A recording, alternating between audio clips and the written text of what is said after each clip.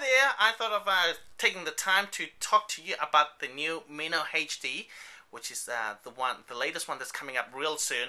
Uh, installs March 2010. So I just got this today. I'm currently recording um, this video on the old version on the Flip Mino HD.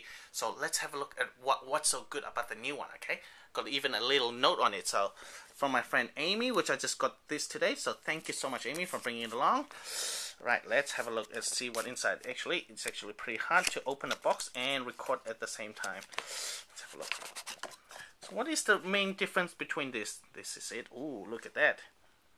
Compared to the one that I'm recording on, this actually has a bigger screen. The screen is double the size.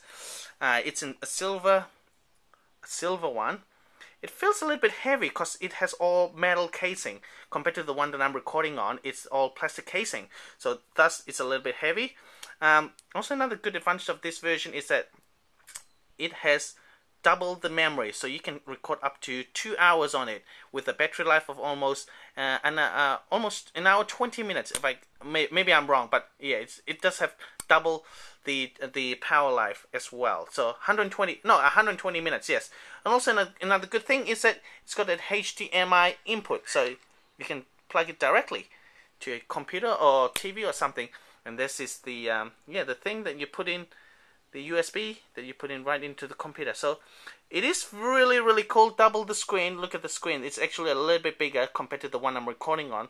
Um, yeah, so this will be installed March 20, April, uh, May, May 2010, May 2010. So if you want to look for a camera, this is actually really cool. So really, really cool. Fits just in your pocket. So uh, do not really have a price range for it yet, but I think there's more, more details to come as it comes closer to its new launch date.